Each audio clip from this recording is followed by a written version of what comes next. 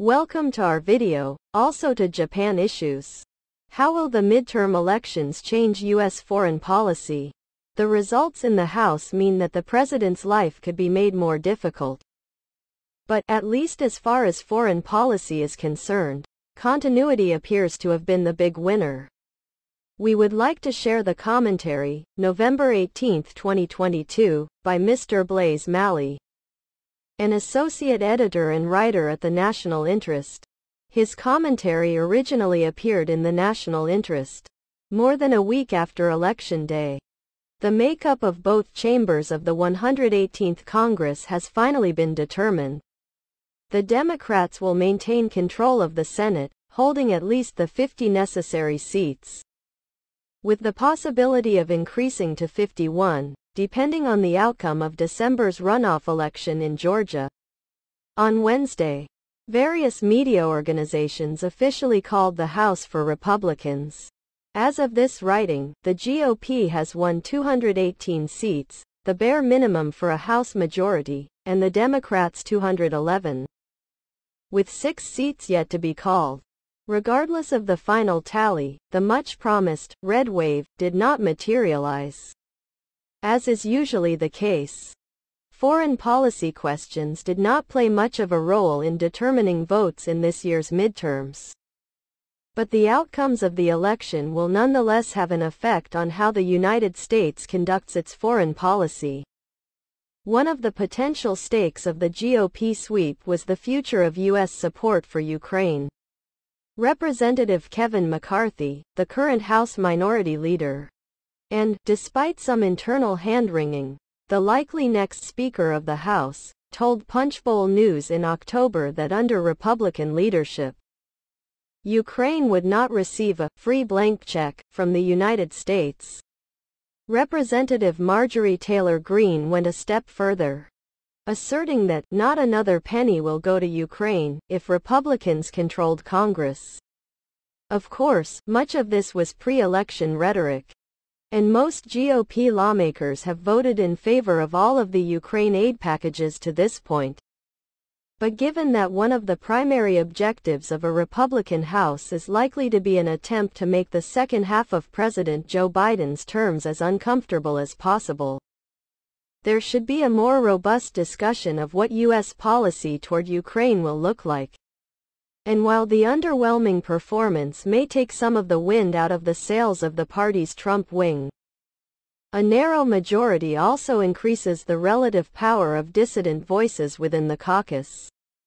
Representative Thomas Massie, an outspoken critic of the country's current stance on Ukraine and American foreign policy more generally, explicitly made that point on election night. I mean, look at what Joe Manchin has done in the Senate as the one deciding vote, right? I would love for the Massie caucus to be relevant, the congressman said according to Politico. If there's a one-seat majority, my caucus has one person. It's me so I can decide whether a bill passes or not. In the Senate, most of the Donald Trump endorsed America First candidates lost.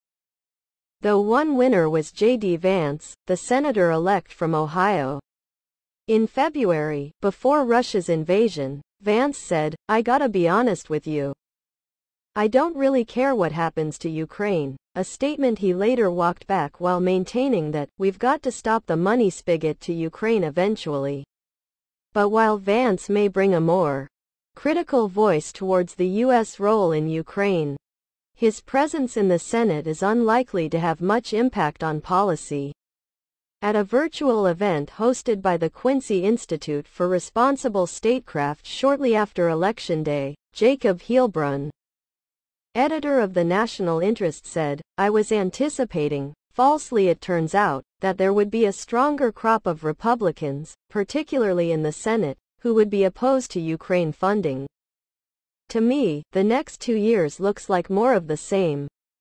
As Russia continues to suffer losses on the battlefield, the war may be entering a new phase in which there could be an opportunity for a negotiated settlement, which, if politics allow, may also present the chance for some bipartisan agreement. according to George Beebe, Director of Grand Strategy at the Quincy Institute. These are issues on which, I think, philosophically, some of the new right members of the GOP are going to be pushing in a direction that the Biden administration might find congenial, said Beebe, speaking at the aforementioned event. And so politics and policy might come into a little bit of a tension for some of the new Republican members. In terms of foreign policy, Vance's Senate campaign was more concerned with a hawkish attitude towards China than it was with Ukraine. Considering the Republican Party's apparent fully-throated adoption of anti-China rhetoric, it may appear that more legislation aimed at combating China's rise may be on the horizon. But hawkishness toward China is one of the few issues where there appears to be consensus between the two parties. Vance's election opponent, Representative Tim Ryan, for example, ran a campaign that was explicitly hawkish toward China, so there may not be too much difference between what a Republican-led House and a Democratic one may pursue in that domain. In addition, the GOP lawmakers who appear poised to take over important House committees or foreign policy tend to be more aligned with the party's establishment than with the so-called New Right. American elections, and midterms in particular, rarely influence foreign policy.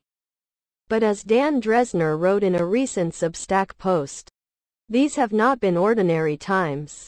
There was an expectation that a dominant win by Republicans could have altered the Biden administration's foreign policy calculus. The results in the House mean that the president's life could be made more difficult, but, at least as far as foreign policy is concerned, continuity appears to have been the big winner. That's all. From the commentary, November 18, 2022, by Mr. Blaise Malley, an associate editor and writer at the National Interest.